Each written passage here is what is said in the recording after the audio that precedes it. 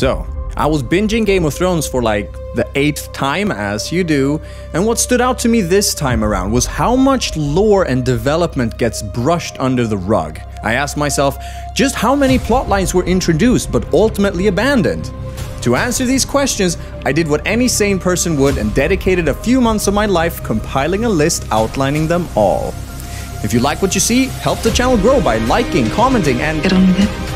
This is every abandoned plotline in Game of Thrones.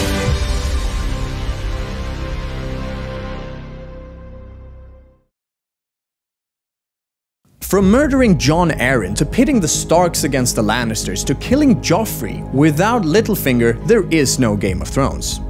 Something people tend to forget is that Petyr Baelish wasn't just a baller, he was also very much a player with a bid for the Iron Throne as good as anyone else's.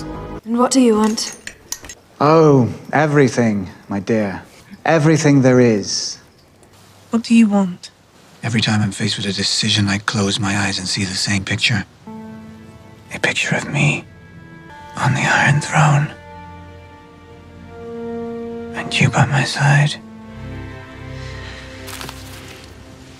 It's a pretty picture. Of course, what people do remember is his groundbreaking theory of chaos equals MC ladder, but by season 6, that's out the window too, as Littlefinger subjects himself to Sansa, creating no chaos, just enjoying his place at court like the good little lady he was never meant to be. You will marry a High Lord and rule this castle. Now, had he at least had a whiff of the Iron Throne before seeing it snatched away from under his nose, that would have been a proper way for him to go. Not this. Sansa, I beg you. His disappointing end undermines a lot of the tension the show spent years building up.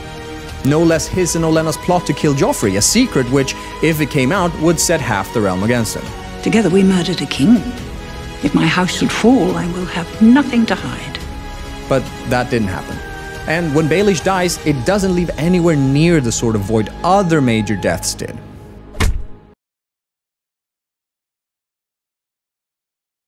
After their ancient purpose of protecting the realm from what lies beyond the wall is rendered obsolete, the Night's Watch is still a thing for some reason. There's still Night's Watch. The show even comments on this without providing answers. Why is it still a thing? What are they protecting the realm from now that the White Walkers are destroyed, the Wildlings are friends, and the Ice Spider's not a thing in the first place? Grumkins and snarks. Oh yeah, can't wait for snow season one.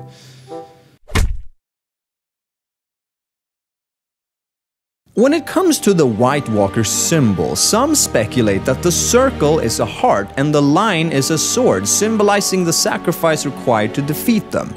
Notice also how the pin of the Hand of the King and Sansa's necklace in later seasons have the same shape.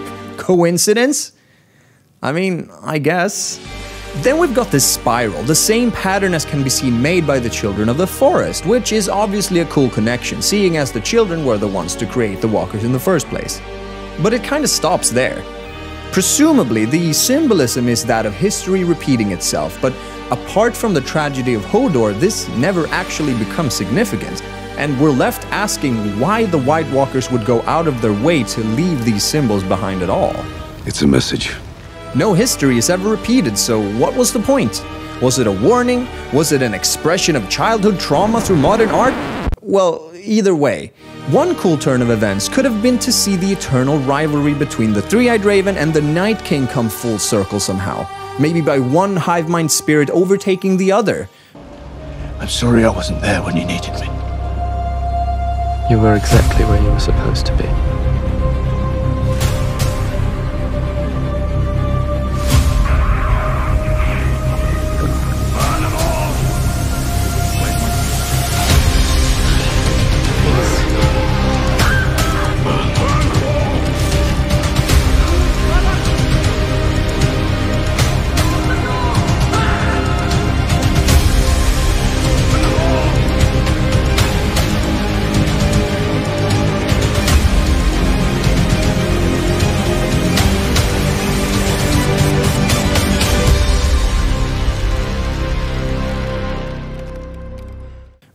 That wasn't the case, so.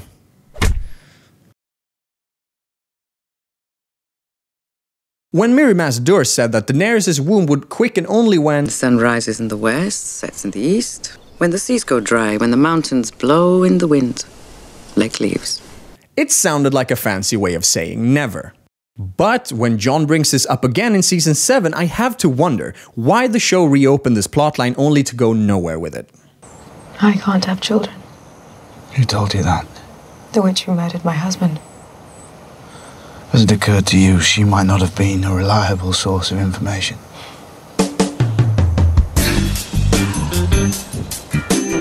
Like, if Jon had made Daenerys pregnant, cheesy as that would be, then at least we're in business. But this obviously doesn't happen, so what the hell?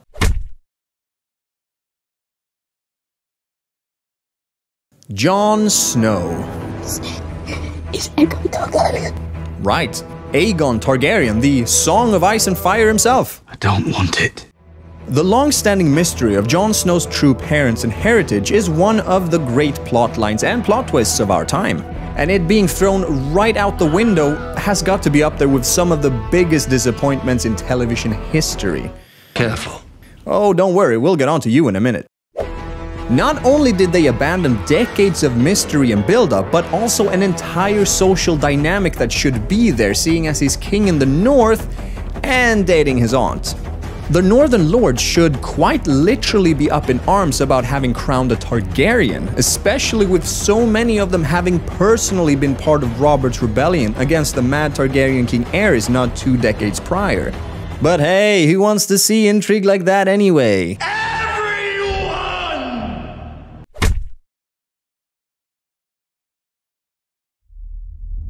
So, if not Jon, then who is Azor Ahai, the prince that was promised, aka the title of the book series the show is based on? Stannis was not the prince who was promised, but someone has to be. I don't want it. The prophecy was first brought up in season 2 with Stannis, flaming swords and all. Stannis Baratheon, warrior of light. Then it was Daenerys. Daenerys Stormborn is the one who was promised. Then it was Jon. You serve Jon Snow now. He's the prince that was promised. Then it became a contemporary American gender debate. That noun has no gender in High Valyrian, so the proper translation for that prophecy would be the prince or princess who was promised. And by the time the White Walkers rolled by, we Kind of forgot. Okay, so this is kind of the big one, guys.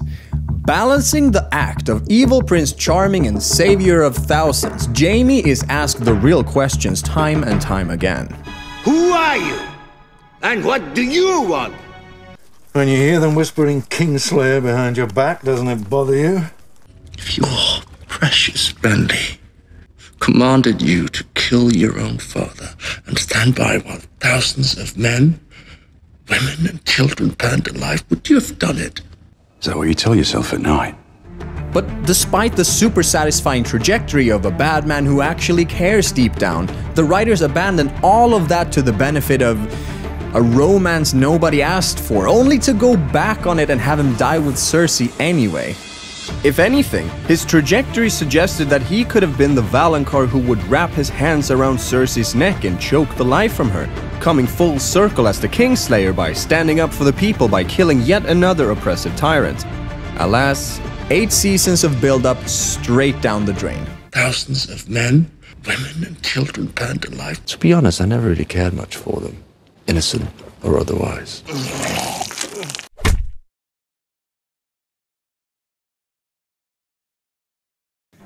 Tyrion's kind nature is tested consistently by his family, the establishment, and pretty much everyone else, which eventually sees him snap in season 4, setting him on a path of hate and revenge. I wish I had enough poison for the whole pack of you. I would gladly give my life to watch you all swallow it. In season 5, however, Tyrion immediately goes back on all of that and derails from this trajectory. In fact, all we get from Tyrion from season 5 onwards is a series of uncharacteristically bad decisions, shunning what could have been the reverse journey of his brother Jaime. Oh, and cock jokes. Don't forget the cock jokes. At least your balls won't freeze off. Because you have no. If I lost my, I'd drink all the time. It's even better luck to suck a dwarf's. Because I have balls, and you don't. A big part of Game of Thrones lore is the Three Eyed Raven, the ancient hive mind that lures children into his cave with tinted windows to take over their mortal bodies in order to. Yeah, we don't really know, and therein lies the problem. You'll never walk again, but you will fly. Like most people, I thought this meant Bran was destined to be a dragon rider, but the show was content to keep it to some crows here and there. We never learn the true motivations of the Three-Eyed Raven and the nature of its rivalry with the Night King. Was it really so shallow as to take the Iron Throne? What about restoring and reintegrating the Children of the Forest, or I don't know, something more meaningful than making Bronn Master of Coin? Also, is there a connection between the Three-Eyed Raven and the Lord of Light? Are they opposing deities, seeing as one sort of created the White Walkers and the other supposedly means to destroy them? Or are they one and the same, showing visions in the flames to some people and whispers in the wind to the others? Guess we'll never know.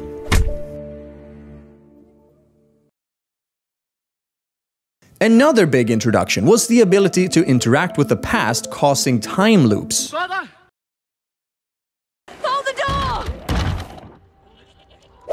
In the books, it is hinted that the snooping Bran himself did not make the sound that alerts Cersei to his presence outside the window, which, after seeing how the young Ned Stark reacts to Bran in the past, implies that the same could be the case in episode 1 all in order to set Bran on his journey to become the Three-Eyed Raven. But this is, of course, never suggested by the show.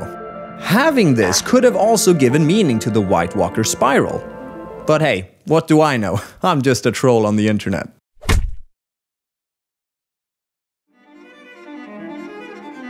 Who do you truly serve? The realm, my lord. Ah, yes. Or does he? The absence of desire leaves one free to pursue other things. Varys' true motivations were quietly a big deal in the good half of the show, but after skipping town with Tyrion, Varys ceases to be active in the story, apart from teleporting around like a glorified messenger when he isn't acting as ballplank for Tyrion's cock jokes. Because you have no cock.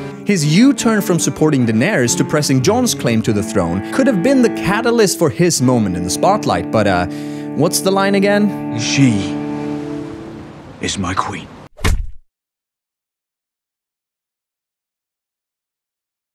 When Brandon the Curious sneaks off to check the status on the White Walker army, the Night King touches him and leaves a mark that would presumably corrupt him slowly and screw with him as he eventually wargs into one of Daenerys' dragons.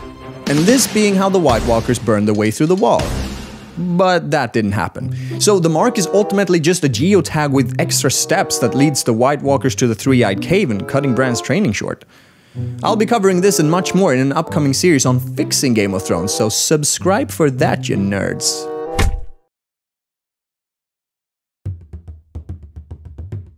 For the longest time, the people north of the wall were the enemies of everyone south of it, and when Jon attempts to change this, he is murdered for it. For the watch. It goes that deep. But after Jon's resurrection, the only mention of the possible catastrophe of wildling south of the wall is Ramsay's letter to Jon. To the traitor bastard Jon Snow, you allowed thousands of wildlings past the wall. You have betrayed your own kind, you have betrayed the North. One might have thought this would continue to be quite the hot potato, especially amongst the Night's Watchmen and the northern houses, but this political issue simply disappears along with Jon's vows to the Watch.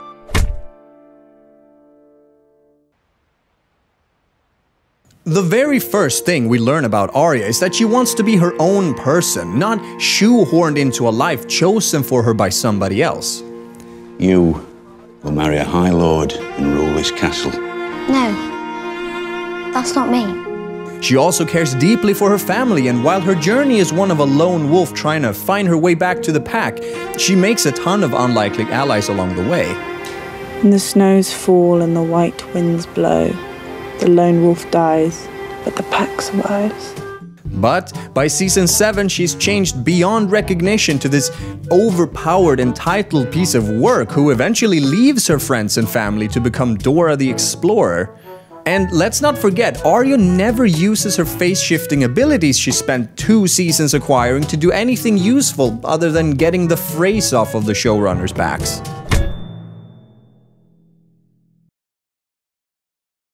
Speaking of face shifting, it is often mentioned how the renowned assassins from Braavos are the kind of exclusive bunch you do not want to mess with, which means desertion is not allowed. What you just did is punishable by death. But they still let her escape with all their skills and secrets. I'm going home. Then go! The least they could have done would have been to let Jaqen catch up with Arya before the long night and have them call it water under the bridge as, you know, the world is about to end. Oh well. There's also no explanation as to why the waif hates Arya. She's not ready. Perhaps she is, perhaps she's not. I've seen people speculate that it has to do with the waif craving Jaqen's attention, but if she's supposed to be no one, such cravings would never be accepted, let alone rewarded. You promise me. Don't let her suffer.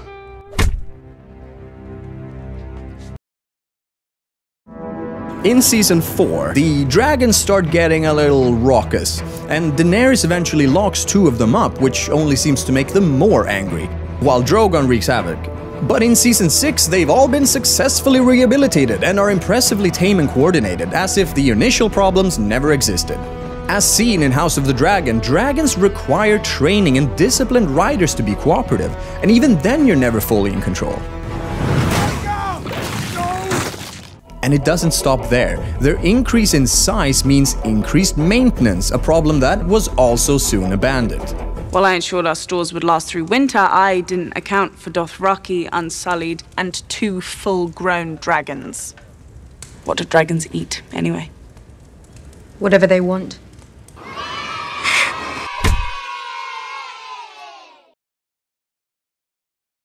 In season 6, we were all very excited, or at least I was, about the introduction of the Red Priestess Kinvara, who was brought in by Tyrion to propagate support for Daenerys and Meereen. But as we know, season 6 is the point where world building kinda ceases to be a thing, and Kinvara's efforts, if there ever were any, are confined to the illustrious realm of off screen. I will summon my most eloquent priests. They will spread the word. Kinvara, nor her eloquent priests, I mean breasts, I mean priests, are ever seen or heard of again.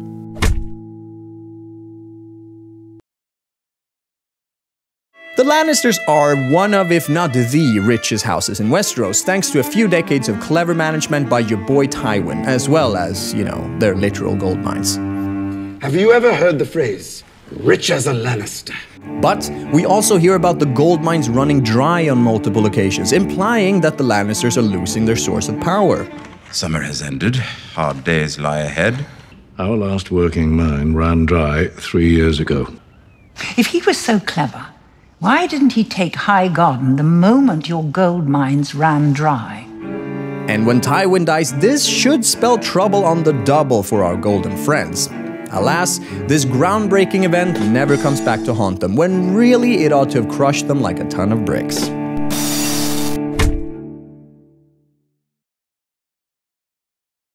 On the topic of money, The Iron Bank will have its due. How they love to remind everyone. The Crown owes the Iron Bank of Braavos a tremendous amount of money. The Iron Bank of Braavos. We owe them tens of millions. I'm not worried about the Iron Bank. We both know you're smarter than that. If we fail to repay these loans, the bank will fund our enemies. You can't run from them, you can't cheat them, you can't sway them with excuses. One way or another, they always get their gold back. These conversations would lead you to believe that the Iron Bank will come down on you like the hammer of Thor, but this never happens to anyone. After Stannis dies, nobody seeks out Davos or goes to Dragonstone to collect.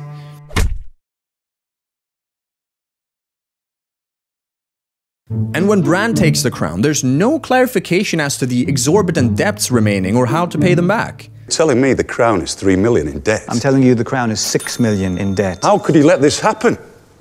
With Tyrion as head of House Lannister, he inherits the crown's debt of over 3 million accumulated by Bobby B. Counting coppers, he calls it. A significant amount was also owed to the Tyrells, but that went away when they were destroyed. And upon sacking Highgarden, Cersei repaid whatever the crown owed the Iron Bank at the time, rookie mistake by the way, and then immediately took out another loan to pay for the Golden Company in the fight against Daenerys. Now, it could be argued that the Golden Company simply bet on the wrong elephant in that conflict. I wanted those elephants. But the Crown of Westeros is still the institution that hired them, so a significant amount would be owed to them by someone. Sir Bronn of the Blackwater, Lord of Highgarden, Lord Paramount of the Reach, and Master of Coin. How could he let this happen?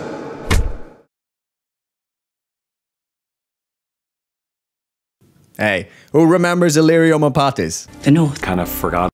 Being a day one and Varys' best mate, Illyrio seemed like a pretty big deal once upon a time. If one hand can die, why not a second? The way these two talk, it seemed like they were playing the realm like their own private game of 5D cyvasse, but after season 1, he is never seen nor heard of again. Not even when Tyrion crashes at his place in season 5.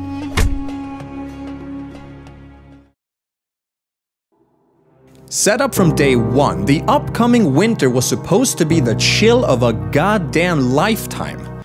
Fear is for the long night. There's a war coming, Ned. I don't know when, I don't know who we'll be fighting. And winter is coming. Eight seasons, nearly a decade in the making, but in the end, the long night was really just a dark battle, and winter lasted a good few weeks at best. Regardless, it would appear that with their sophistication and extraordinary patience, the White Walkers would have some sort of explicit purpose, but that is also never revealed beyond being a bunch of Frankenstein's monsters. For example, there are the instances of Will in Season 1 and Sam in Season 2 being intentionally left alive to warn of their coming. Let me know if you agree with this or not, but this smacks of an elaborate plan to bait humans into making some sort of mistake, like. No, not sending half the cast on a suicide mission beyond the wall, obviously, but something.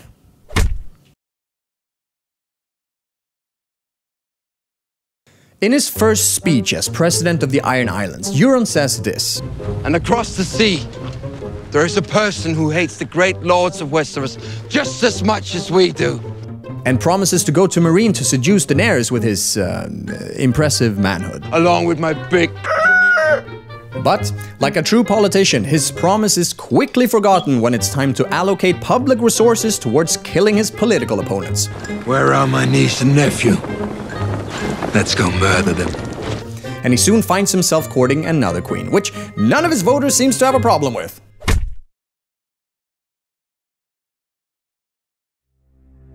Quaithe, the mysterious oracle who turns up in Qatar.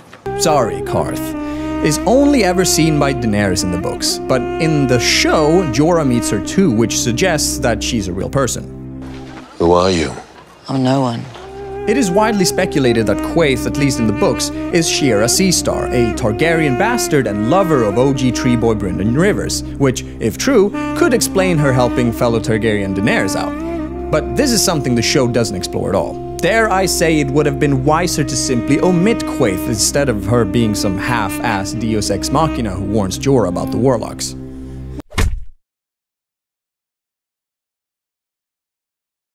Speak of the devils. When they kept coming after Daenerys in season 3, it seemed like the warlocks of Qarth were here to stay. The warlocks. But they totally weren't.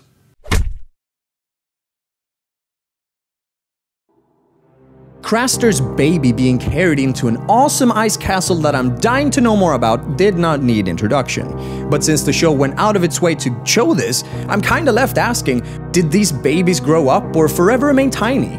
Do they train in the yard with a master of ice and a proud Night King watching over them? And more to the point, are these distinguished generals or whatever they are Craster's sons? What would Gilly do if she found out that her niece brothers are the baddies? Guess we'll never know.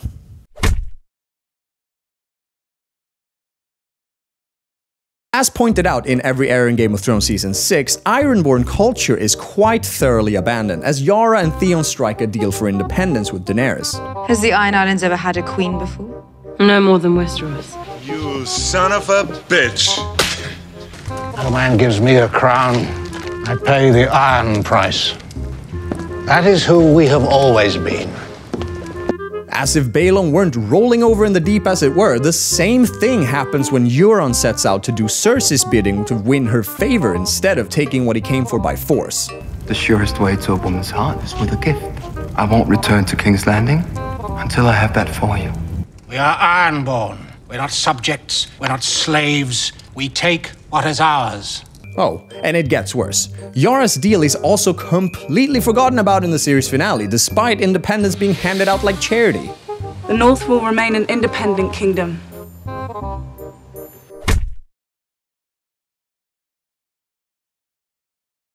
After taking back Riverrun from the Blackfish, Jaime installs Edmure as his loyal vassal. But shouldn't his loyalty at least be tested? The Tullys were sworn to Robb, so where were they when Jon was crowned king in the north? And where were they when every sword in the kingdoms was needed to fight the White Walkers? If the North indeed remembers, I feel like Sansa ought to have a bone or two to pick with her uncle Edmure at the council in the final episode, but yeah.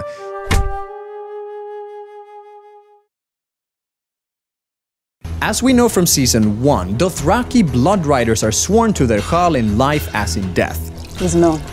In the event of their Khal being defeated, they would avenge him and then join him in the afterlife by suicide. Now, let's not forget that Daenerys made every single rider of her Khalasar her blood riders, Ehal, bintirna hano kay sendo trakoy. Hano kag and after failing to conquer the world, not only did she fail the prophecy of the stallion who mounts the world for the second time, but not one in her Khalasar so much as mentions it, or the fact that they're all honor bound to kill Jon and then themselves. Oh, and they hate witches with a passion. It is known. It is known. Kind of forgot. Realistically, though, with so much power up for grabs, not all would go through with their mandatory suicides. But there should at least be fighting over who gets to lead them next, most likely resulting in factions breaking out based on previous hierarchies from before Daenerys united them. This should also, at least in theory, be somewhat of a pickle for the new king of Westeros, but since they all just conveniently pack up and go back to Essos to rape and pillage in peace, Dothraki culture was officially abandoned too.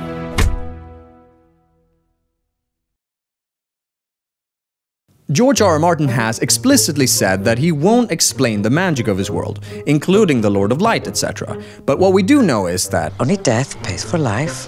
And while the lives of Daenerys' dragons are paid for at the rather straightforward exchange rate of Drogo, Rhaego, and Mirri Maz Beric Dondarrion's multiple resurrections remain a mystery, and no explanation is ever provided. Thoros, how many times have you brought me back? Five, I think. No, this makes six. It could be argued that his resurrections usually happen shortly after battles where lives are lost, but this is clearly not the case when the Hound kills him in season 3. Lord, cast your light upon this man, your servant.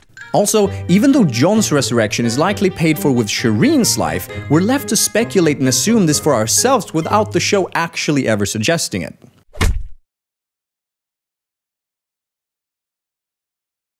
Okay, now this is a super interesting piece of the puzzle.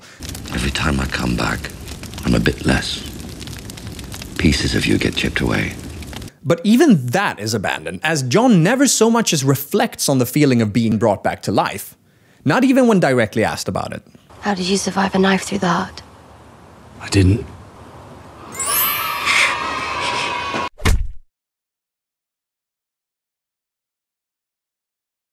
In season 2, the people's resentment towards the establishment resulted in an attack on the king by a mob of hungry peasants. And in season 5, the people's own sparrow was elevated to High Septon. You are the few. We are the many. But after Cersei blows up the Sept of Baelor, including many lords and religious leaders, none of this seems to matter to anyone anymore. The good people of King's Landing, let alone the rest of the country, suddenly don't give a damn about their faith, their food, their lord protectors, and that their supreme house of worship was just blown up by a tyrant they've resented for years. This also ends the plotline of the High Sparrow before we get to learn his true motives. Was he as power hungry and ambitious as the rest of them, or was he indeed the humble servant he claimed to be? Your guess is as good as mine. Also, who leads the faith of the Seven now after all their leaders were annihilated? Shouldn't grassroots factions spring up similar to the Sparrows or something?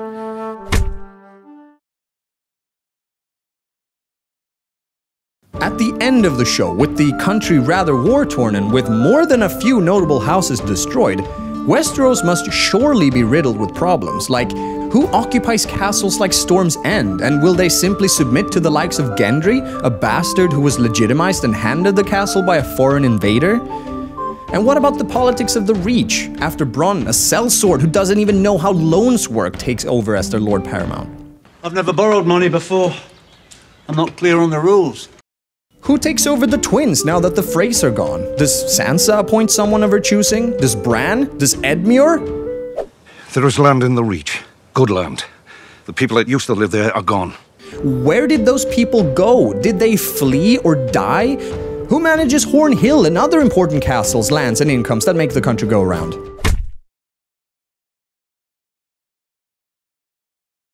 In season 3, warging was made out to be quite common amongst the wildlings. What's wrong with him? But you've never met a warg. But after Orell's death, no wildlings are ever seen to warg again, so they either forgot about the remaining wargs or chose not to mention how the last wildling warg had died, even though that should be something of a big deal, at least to someone like Tormund.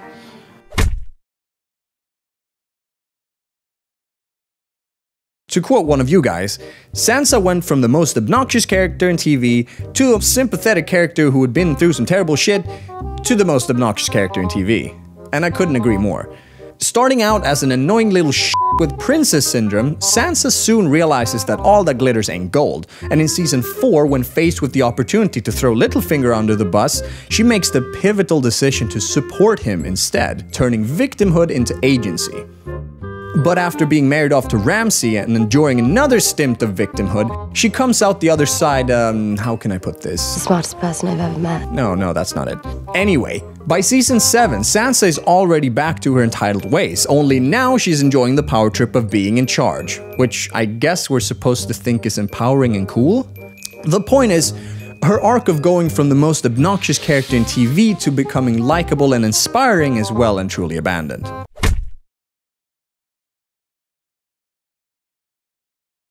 Oh, and Sansa's marriage to Tyrion was never annulled, and her forced marriage to Ramsay is certainly questionable. So, when Ramsay dies, the natural question becomes is her marriage to Tyrion back on? Does this mean Tyrion is technically king in the north now? In any event, regardless of what I think, some lord or another should realistically have a problem with all this before she gets to be crowned queen in the north.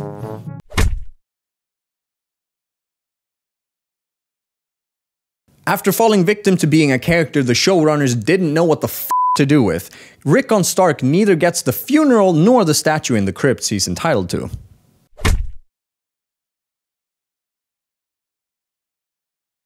When it's time to invade the homeland, Daenerys leaves Meereen in the capable hands of her favorite mercenary Daario Naharis. But this is the last we ever hear of Meereen, or Daario for that matter, and we never get so much as a status update. Piss on that. Send a raven. Daenerys also doesn't bring any significant wisdom or experiences from the seasons she spent there, leaving the Chronicles of Meereen weirdly inconclusive and painfully pointless in the grand scheme of things. I mean, sure, they ended slavery, imposing sound Western values and all that, but what's to say slavery didn't return the moment Dany left for Westeros? Or are we supposed to believe that the entire Sons of the Harpy resurgence was quelled by Tyrion's threat to Yezzan zo Qaggaz at the end of season 6? Remind them what happened when Daenerys Stormborn and her dragons came to Meereen.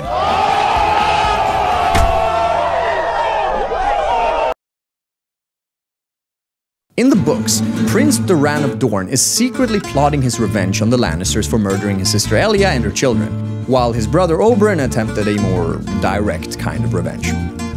In the show, though, Doran is a docile pussycat whose plot for revenge is abandoned in its infancy, and Doran is eventually killed by Ellaria, who in turn is killed by Cersei. Or is she? While Tyene was poisoned, Ellaria was purposefully kept alive to suffer for as long as possible. What's to say she wasn't alive when Cersei lost the capital? Yes, okay, but it's not like people haven't lived through worse.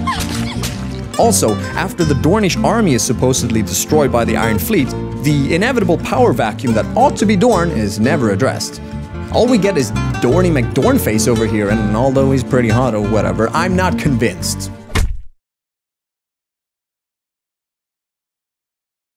Last but definitely not least, what did Podrick do to those girls? Just kidding. Again, not all magic has to be explained.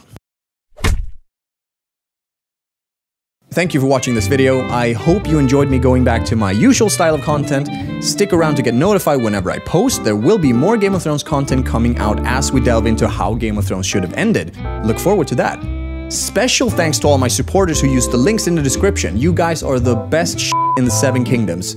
Have a great day and I'll see you again soon.